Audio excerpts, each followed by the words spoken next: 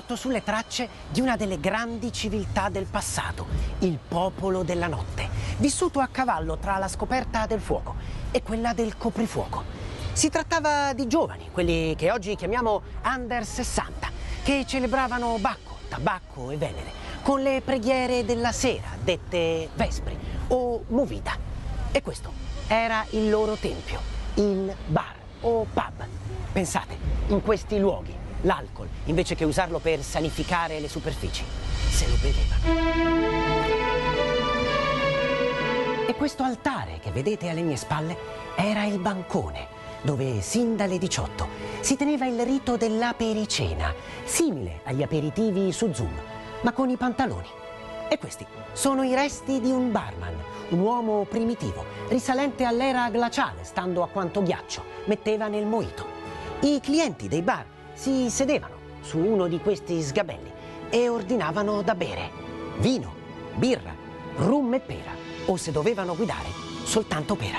Con queste bottiglie i barman preparavano delle pozioni chiamate cocktail, come lo spritz, simile al Pfizer per emissione di droplet, ma meno freddo, il vodka martini, agitato, non mescolato, proprio come un AstraZeneca, o il whisky and soda, una specie di Johnson Johnson, ma senza trombi, soltanto cirrosi.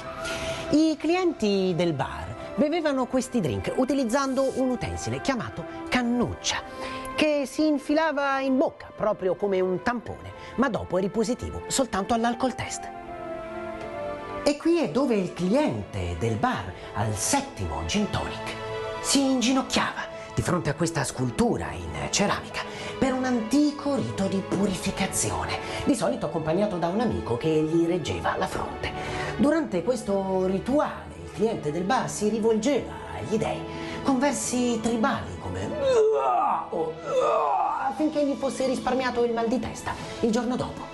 Non è chiaro chi raffigurasse questa scultura. Alcuni pensano a Giove, altri all'imperatore Vespasiano, altri ancora a Ricciarginori. A fine serata i nottambuli si piazzavano fuori dal locale anche fino alle 3 o le 4 di notte per un antico trattamento termale che consisteva nel ricevere una secchiata d'acqua ghiacciata da quelli che abitavano di sopra e che volevano dormire. I bar sparirono dall'oggi al domani senza un vero perché, probabilmente inabissati dallo scioglimento dei ghiacciai nei drink, un dramma che però li ha consegnati alla storia, come la nuova Atlantide.